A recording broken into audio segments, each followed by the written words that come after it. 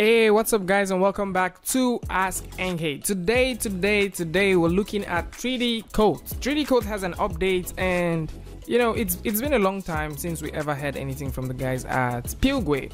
So the guys at Pilgway, they the makers of 3D Coat recently released you know an update to their tool the only tool to me that i actually think is a strong competition to zbrush in terms of you know functionalities and other stuff. This is widely known i mean the 3d coat tool is widely known for the fact that you can do voxel sculpting inside retopology smart material you know painting and and all those incredible things. The uv is incredible as well and some guys get to spend the entire time working with the curves. So curves is also another thing that these guys have that makes it shine as well. So we have an update coming and this update is actually looking at a lot of new things and some of the tools that they have have been completely redone. So these guys have gone ahead to actually include some sets of tools like the boolean. Now they have boolean within the sculpt room and they've also improved geometry support. They've also improved the the, the cutoff tool They've also done some things with the volumes. So now it's going to make a lot of sense when you're sculpting directly inside here. And as far as it sounds from what they're saying, they've said that this is much more stable and powerful compared to the other ones. So if you've ever used 3D Coats, one of the big uh, downside for me with 3D Coats is that if you don't have a strong graphic card, you may not be able to actually run 3D Coat as I mean to your hat content, right?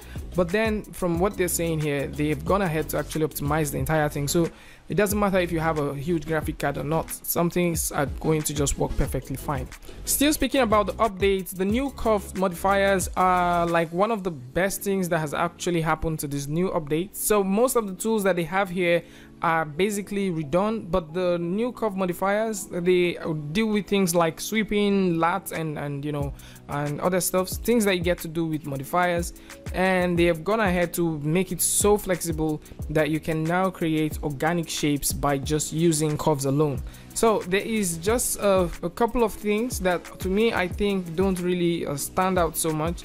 But if you've ever used 3d coats and you know you get to see all of these updates that they're putting up together in this new release um, i think it's it's worth trying out. It's worth trying out. There is also some improvements to the uv so the uv automatic wrapping and straightening is also there. There is just a couple of things that you can actually get out of this. Link to where you can find all of these things is going to be in the description so you can read it out for yourself. And you can check out the gallery. You can check out this tool. You can get this tool for free and run with this tool for 30 days and see what it looks like and know if it's actually best for you from the guys at Pilgway, they've not actually released anything completely official that has to do with the inner workings of this tool.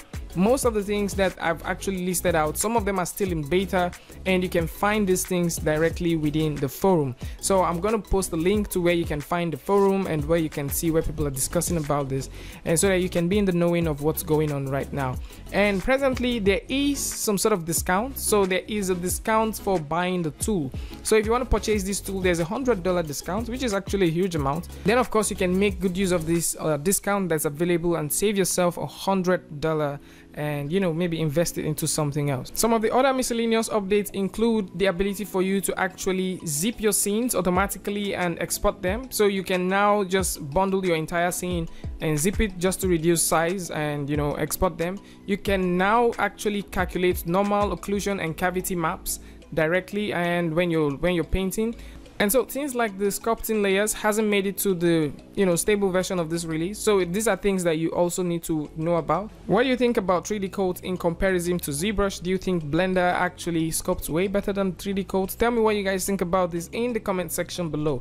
And if you like this video, you know what to do. Go ahead and hit the like button and turn on notification. And if you're new here, it's going to be amazing if you can hit the subscribe button and also turn on notifications so you don't miss the next video. And until I see you guys again with a tutorial update, free Friday, tutorial Tuesday, tips and tricks, things like this. Peace.